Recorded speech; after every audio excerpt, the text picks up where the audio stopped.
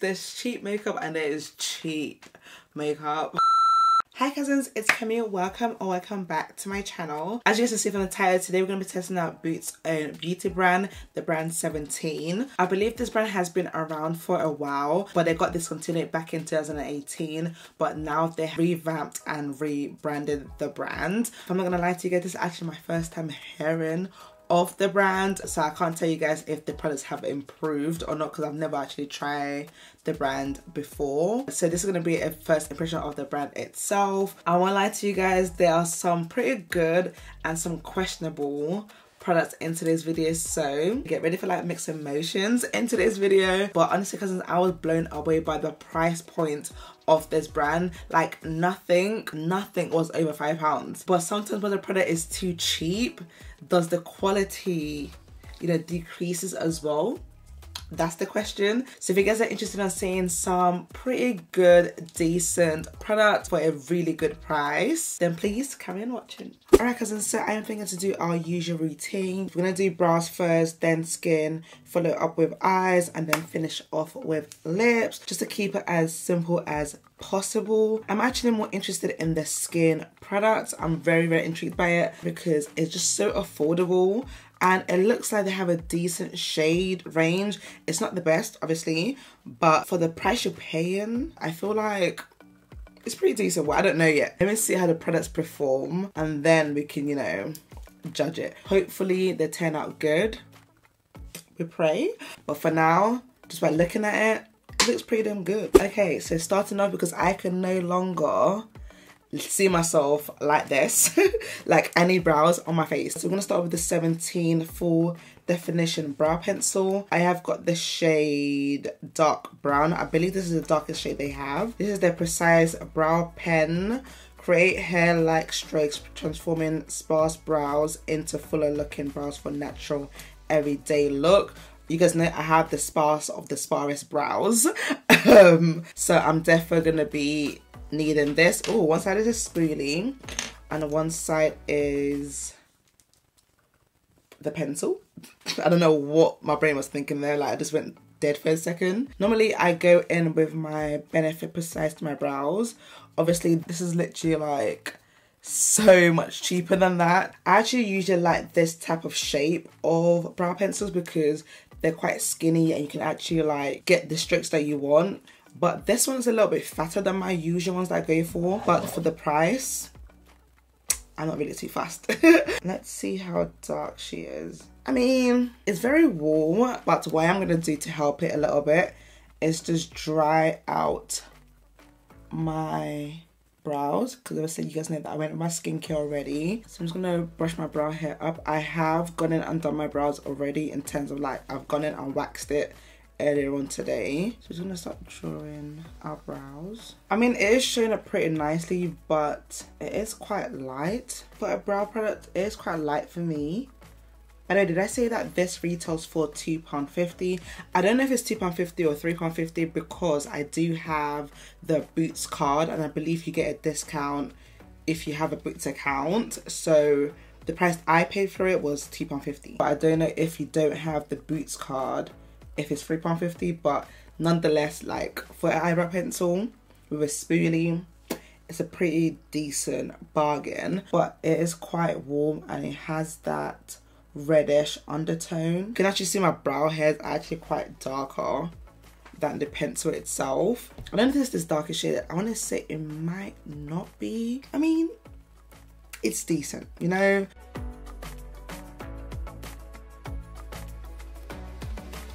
I don't really like it. Oh no. It's not bad, but it's just not for me. I think because I don't have brows, so whenever I use a brow product, I want it to be quite dark and I want it to show up. And plus, because my wig is actually, you know, jet black, it just makes the colour stand out even more.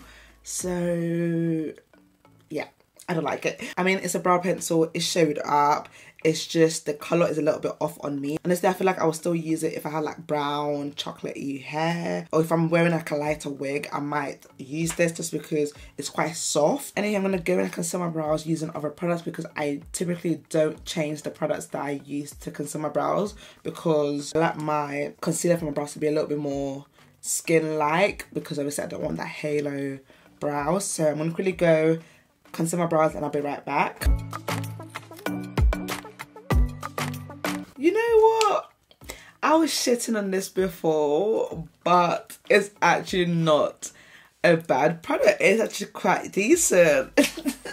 like now that I've concealed my brows, yes, the color is still a bit off, but I don't hate it, but it's not my favorite. Yeah, so when it comes to primers, I believe the brand has about two to three primers, but don't quote me on that because I'm not too sure. But I have the 17 Photo Filter Balm Primer and I also got the Base Glow Illuminating Primer. The last one I believe they have is the Matte primer, which I think is pretty decent because they try to cater to like different skin type. The matte one obviously to cater to oily skin. The photo filter one I believe is meant to be like universal and I believe the base glow illuminating primer is for like you know dry skin babes. The photo filter balm primer was five pounds and the base glow illuminating primer was four pounds. Five pounds is the highest price on their product which is like pretty pretty good. So i'm gonna go in with the photo filter balm primer. It claims to be lightweight and instantly achieve a smooth and perfect skin look. It offers a flawless finish whilst making the skin feel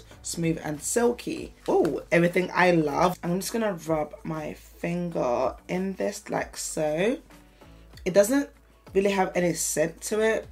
With like primers like this I find that it works best if you like tap it into your skin rather like swirling it into the skin. It has like kind of matted my skin a little bit as well. Can you guys see like here?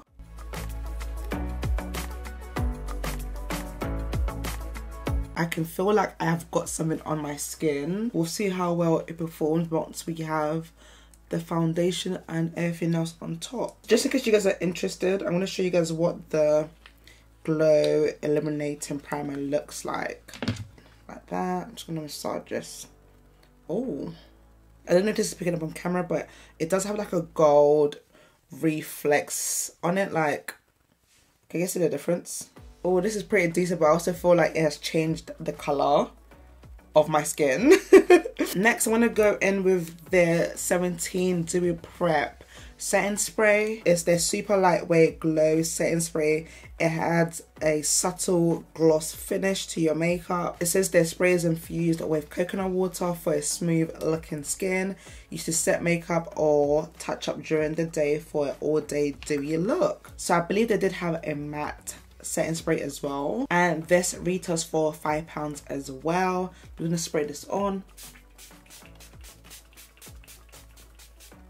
Mmm smells nice. It doesn't have that chemical smell. It does shoot at you. It's not like a fine mist. It smells pretty good and we'll see how well this works as well. Like the primers and the setting spray, you can only know they work truly once you've worn your makeup. I can tell you it's nice now, but then it could be trash at the end. And I can tell you it's trash now and then it could be like the best thing and it holds my makeup for the whole day. By the way, I got everything from Boots if you guys are wondering where to purchase this from.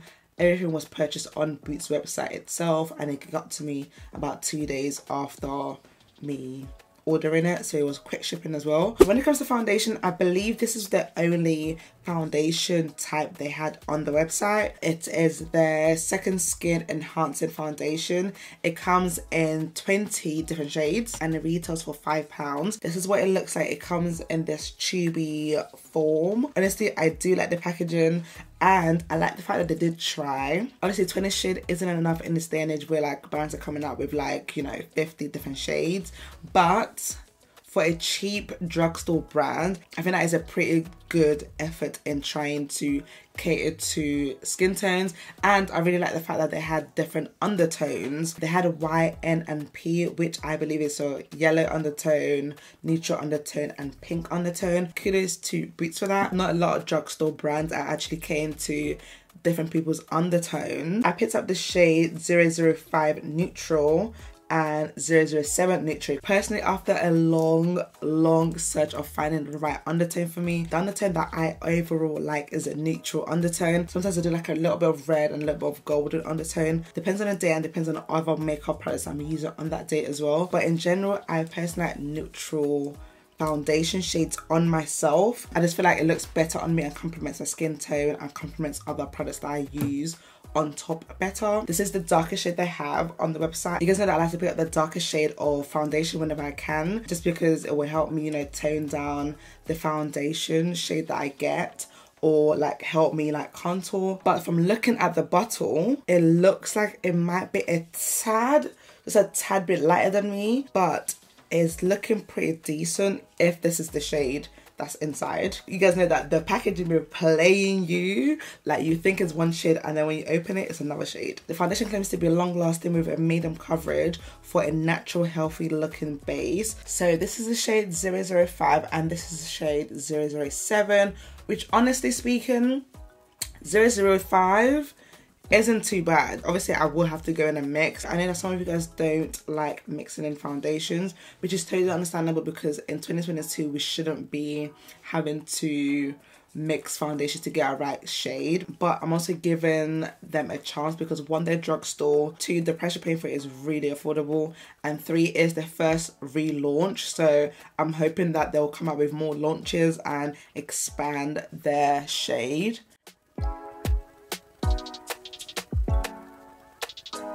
Oh, that's not bad, you know. Wait, hold on. Is this drying up on me? But yo, that match is pretty damn good. Hello. First impression, you need to work quick with this foundation because it does dry down. It's giving me like a matte finish and nowhere on the bottle did it say it was to give me a matte finish. I wasn't really expecting that.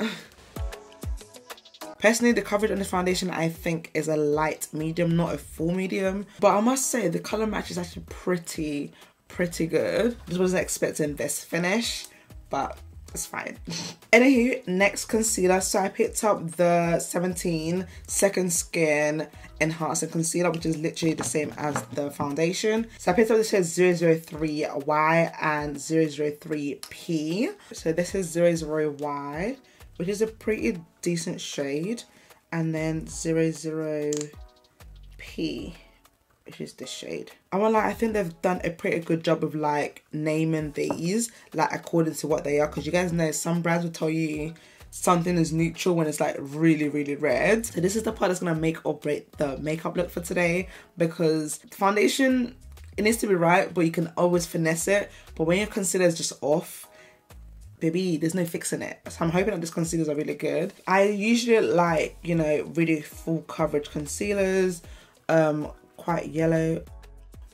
Oh, this feels pretty creamy. Okay. By the way, I'm using the 003 concealer. I'm going to blend it out with a brush so that, you know, I can keep the coverage. Oh, it's not giving me coverage. It's not giving me coverage. It's not giving me coverage. Let me try my sponge. Okay.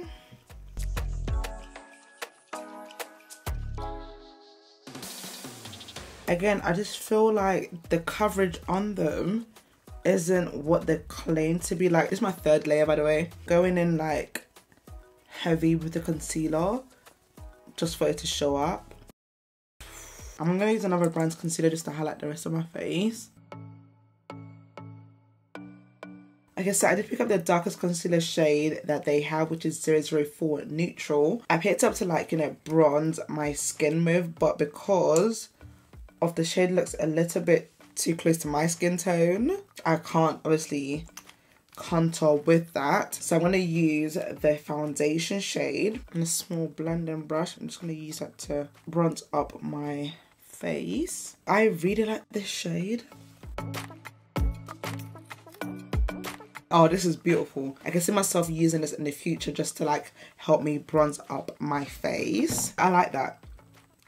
I really like that. Oh, by the way, I forgot to mention that the concealer comes in 10 different shades and is exactly the same as the foundation with the undertones. They have the same shade but with different undertones. And guess how much this is, cousins? Guess how much this concealer is? Two pounds. Two pounds, cousin. Can you believe that? Two bloody quid. Are you kidding me? Like, obviously it's not the best quality and you do have to go in with multiple times, but I've had concealers crease me in the past and they were like more expensive than this. Like way more expensive than this. So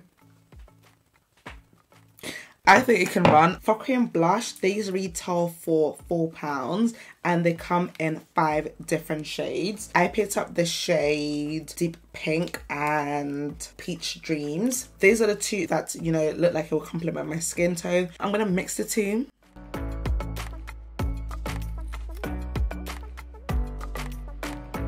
So I picked up the Ultimate Look Finishing Powder in the shade 070 and 060. I think I'm going to go in with 070.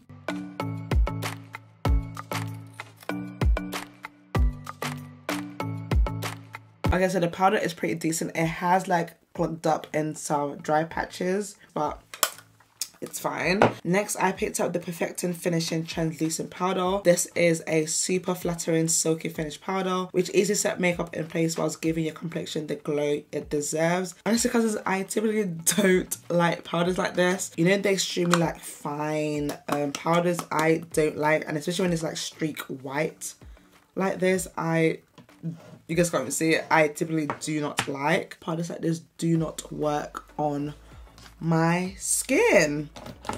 And it's already like, oh, yeah, you see, this is why.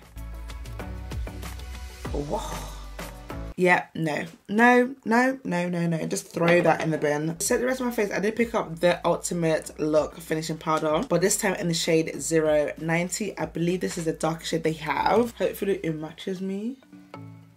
Oh. Okay, I think that's a good match. Hello?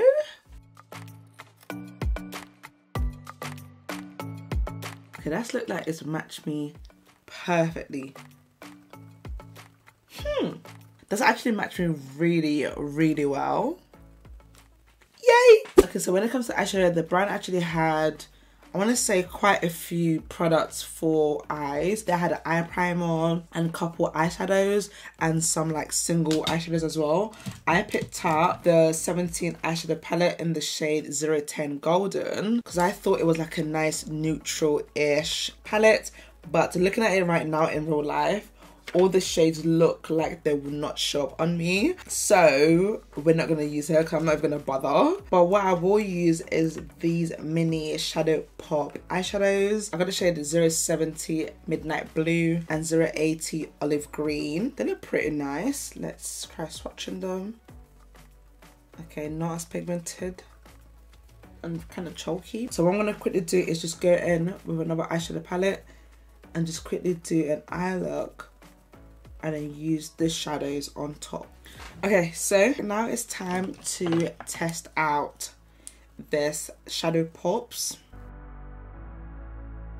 Okay, that is quite chalky. I'm gonna put the blue at the front part of my inner corners and then put the green, the olive green right at the edges.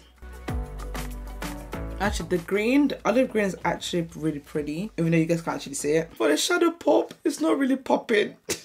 it's not popping guys. It's not popping whatsoever. So next i picked up the 17 ink legend tattoo eyeliner. These look pretty cool. I picked up the shade black and blue. Oh yeah that looks pretty good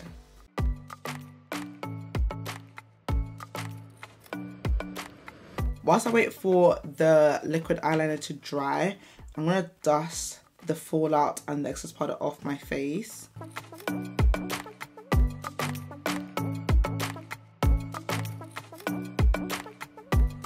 For mascara, I did pick up the 17 Ultimate Lasting Curl Mascara. I'm not really too fussed about mascaras, but I do like the shape of this. It's really like grips in my eyelashes. Hold on, wait, hold on, hold on, hold on. Please tell me the liquid eyeliner did not oxidize to a black. It did not just do that. No. like, you guys saw the color of the blue, right? Before applying my lashes, I'm gonna go back in with the Dewy Setting Spray and just set my face one last time. Oh, by the way, I did pick up blushes, but I'm not even gonna bother because they're just not going to show up on my skin tone whatsoever. I thought they were darker online. Okay, so final step, I picked up five lip products from the brand 17. I've got the 17 matte lipstick in the shade Blushing Nude and Old Rose. And I've got the lip gloss in the shade Caramel and Glitter Nude and I also picked up this lip boost and shine gloss. Or I should have used this. But I think I'm gonna go in with their matte lipstick in the shade blushing nude. Let's see. No.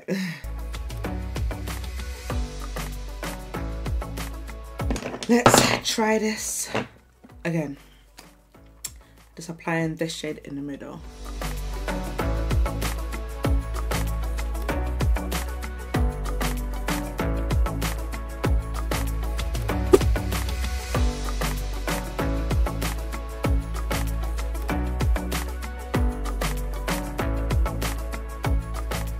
So cousins, we have come to the end of today's video.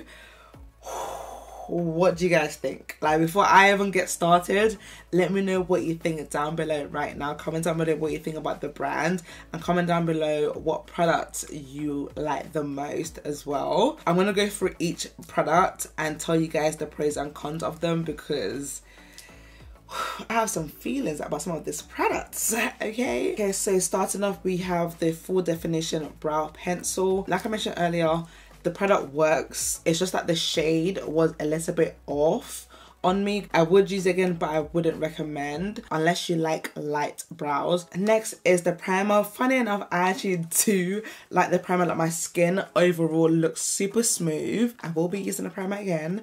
I do like it. And with the setting spray as well. Definitely the setting powder is just a no from me. And also the eyeshadow is a no from me. The foundation I actually do like, especially the shade 007.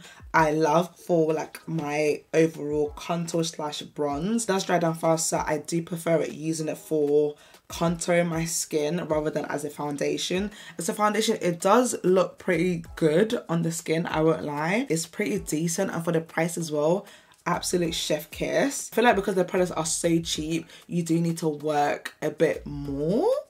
so that you look good at the end because you guys saw that I went with five layers of concealer just for it to like look like what it looks like right now. The products that I would personally recommend for you guys, I will leave down below in the description box so you guys can check that out. You know what, I actually can't not the brand because you can see that they're actually putting some work into creating these products, especially with like the different undertones that they have and actually trying to cater to different skin tones as well. Of course, it's not like the best that we've seen, but with the price of each product, um, you can see that they've actually like really tried. And one, making it really affordable and accessible for a lot of people, and two, trying to cater to different skin tones and different skin types as well. I do believe that the brand has loads of potential. That is pretty much all I have to say. My camera is literally flashing, suddenly that my battery's about to die. So thank you cousins so much for watching. Let me know what you think about the brand 17 down below and let me know what products you guys like. And also let me know any other brands that you guys want me to try out. Let me know down below in the comment section. Please and thank you. Thank you so much for watching cousins. I love you guys so bloody much. And inshallah i'll catch you guys in my next video. Bye cousins. Mwah.